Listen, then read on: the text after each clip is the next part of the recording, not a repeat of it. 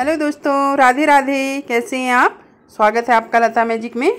दोस्तों, आज हम बनाने वाले हैं गर्मियों के लिए बहुत ही अच्छी ठंडी ठंडी ड्रिंक और इसके लिए हमें चाहिए बॉयल्ड राइस जो अक्सर हम बनाते हैं लंच में और जो बच जाते हैं प्लेन राइस जो होते हैं। तो अगर कभी आपके घर में प्लेन राइस बच जाए तो आप घबराएँ नहीं और उससे बनाए मज़ेदार शरबत। तो इसके लिए मैंने लिया है आधा किलो टोंड मिल्क और एक कटोरी मेरे पास ये चावल रखे हुए थे। तो इनको दूध में डाल लेना है। आप चाहे तो फुल क्रीम मिल्क भी ले सकते हैं। फुल क्रीम मिल्क में इसका ज़्यादा अच्छा टेस्ट आएगा, लेकिन मेरे पास टोंड था तो मैं इसमें मिल्क पाउडर ऐड कर रही हूँ, जिससे इसका टेस्ट बढ़ जाएगा। तो मैंने इसमें दो चम्मच मिल्क पाउडर डाले और मैं डाल रही हूँ उसमें चार चम्मच के बराबर चीनी। अगर आप फुल क्रीम मिल्क ले रहे हैं तो आप मिल्क पाउडर को स्किप कर सकते हैं। तो इस तरह से हमने ये सब डाल लेना है इसमें और हम, हमने बीटर की हेल्प से इसको अच्छे से बीट करना है। आप चाहे तो इसको मिक्सर जार में भी डाल के चला सकते हैं। मेरे पास जार नहीं था, बड़ा वाला मिक्सी का, इसलिए मैं इसमें बीटर ही यूज़ कर रही हूँ। तो बीटर से ही इसको अच्छी तरह से हमने बीट करना है।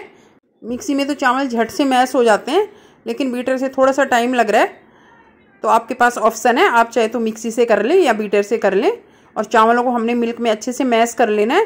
दोस्तों, ये ड्रिंक यूट्यूब पे पहली बार आ रही है, ये मेरी अपनी इनोवेशन है तो अभी तक शायद ही किसी ने इस तरीके का कोई शरबत बनाया होगा। चावलों से आपने बहुत सारी डिशेज बनाई होंगी, लेकिन शरबत आप पहली बार बनाएँगे और एक बार ज़रूर बनाइए, तभी आपको इसका टेस्ट पता चलेगा कि ये कितना अच्छा होता है। और आप इसको पियेंगे तो इससे पेट भी भरा भरा सा लगता है। ठंडक के साथ साथ ये पेट को भी भरता है और आप इसको अपने मनपसंद किसी भी फ्लेवर में बना सकते हैं। हमारे शरबत का बेस तो रेडी हो गया है, लेकिन अभी हमने एक काम करना है। हमने करना है चिया सीड को सोख तो चिया सीड मैं दो चम्मच ले रही हूँ और इनको हमने भिगो देना है। ये आधे एक घंटे में भीग जाएँगे, तब तक हम अपने, जो हमने शरबत का बेस बनाया है, उसको फ्रिज में रख देंगे और ठंडा होने के लिए। तो वो जितना ठंडा रहेगा, उतना टेस्टी होगा। इतनी देर में हमारे चिया सीड भी भीग जाएँगे। तो अब ड्रिंक को असेंबल कर लेते हैं। चिया सीड भी भीग चुके हैं। तो गिलास में हमने पहले एक चम्मच चिया सीड डालें और अब हम डालेंगे ड्रिंक के बेस को। तो गिलास को हमने आधा ही भरना है। फ्लेवर के लिए मैं केवड़ा एसेंस यूज़ कर रही हूँ। आप अपनी पसंद का कोई भी एसेंस यूज़ कर सकते हैं। मैं इसे केवड़ा फ्लेवर में ही बना रही हूँ।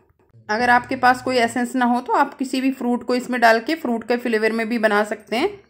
इसको हमने अच्छे से चलाते हुए मिला लेना है ताकि चिया सीड और फ्लेवर अच्छे से मिक्स हो जाए। और अब हम इसमें डालेंगे तीन चार आइस क्यूब। और बाकी का बेस डाल के गिलास को ऊपर तक फिल कर लेंगे। अब इसको कटे हुए ड्राई फ्रूट से गार्निश कर लेंगे। ड्राई फ्रूट आप कोई भी अपनी मनपसंद की चॉइस के ले लें। मैंने बादाम और काजू से इसको गार्निश कर लिया है। तो ये हमारी केवड़ा ड्रिंक बन के तैयार हो गई है। अब हम दूसरी ड्रिंक को तैयार करेंगे। इसी तरह से सेम हमने एक चम्मच चिया सीड को गिलास में डालना है और साथ ही उसमें डालना है बेस और अब मैं इसमें फ्लेवर के लिए डालूँगी रू अफ़जा ये मैं रू अफ़जा फ्लेवर में बना रही हूँ। एक बड़े चम्मच के बराबर हम इसमें रू अफ़जा ऐड करेंगे और इसको अच्छे से मिक्स कर लेंगे। साथ ही डालेंगे इसमें तीन चार आइस क्यूब और अब इसको ऊपर तक वापस बेस से भर देंगे। अब इसके ऊपर थोड़ा सा रू अफ़जा और डालेंगे। और उसे इसको गार्निश करेंगे। आप चाहें तो इसको रोज़ पेटल से भी गार्निश कर सकते हैं। इस तरह से ये हमारा रू अफ़जा का फ्लेवर भी बन के रेडी हो गया है।